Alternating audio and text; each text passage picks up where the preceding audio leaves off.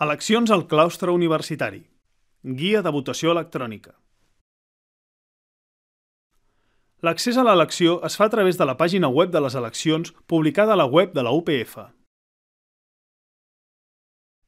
Allà hi trobareu la icona següent. Una vegada aquí dins, trobareu informació sobre el procés electoral i les icones de dues urnes electròniques, una per al vot amb identificació al campus global i l'altra per al vot amb certificat digital. Com votar amb identificació de campus global. Accediu a través de la icona urna electrònica Unis contrasenya campus global. Automàticament es mostrarà la següent pantalla.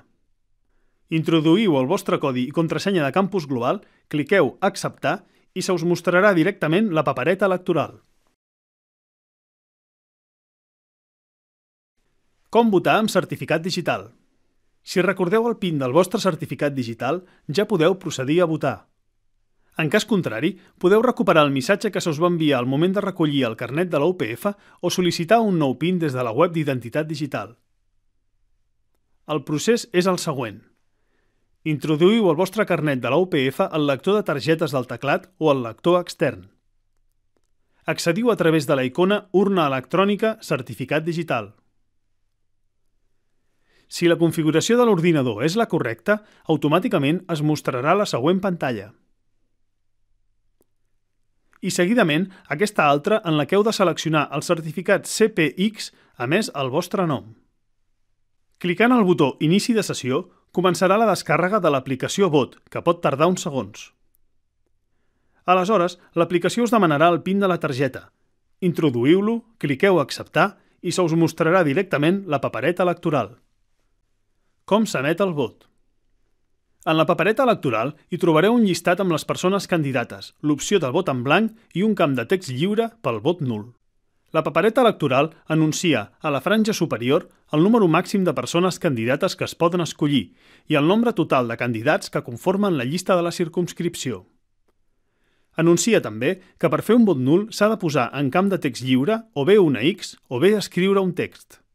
Heu de tenir present que tant el vot en blanc com el vot nul els heu de fer de manera expressa. Un cop feta l'elecció, heu de clicar en el botó Valideu. Confirmació del vot. Un cop les opcions escollides són correctes, es mostra una pantalla de confirmació de vot abans de dipositar el vot a l'urna electrònica. Es pot comprovar llavors que les opcions escollides són les correctes. Heu de tenir en compte que si heu fet vot nul, a la pantalla de confirmació dirà vot anul·lat i el text que hagueu posat en el requadre blanc. Si heu votat amb certificat digital, la pantalla que se us mostra és aquesta. Si heu votat amb identificació de campus global, la pantalla que se us mostra és aquesta.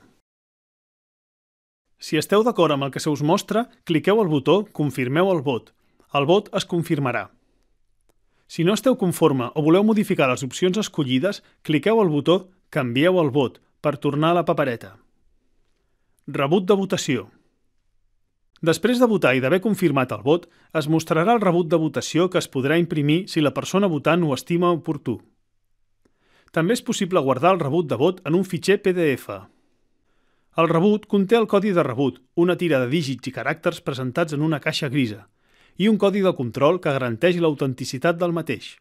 Si heu votat amb certificat digital, la pantalla que se us mostra és aquesta. Si heu votat amb identificació de campus global, la pantalla que se us mostra és aquesta. El codi del rebut és el que permet, una vegada publicats els resultats de les eleccions per la Junta Electoral, comprovar que el vot ha estat comptabilitzat. Sortir o exercir el vot en una altra elecció. Si heu de votar en una altra elecció, quan cliqueu finalitzar a la pantalla del rebut de votació, l'aplicació us tornarà a la pàgina de selecció d'eleccions. Cal que procediu de la mateixa manera indicada en els apartats anteriors.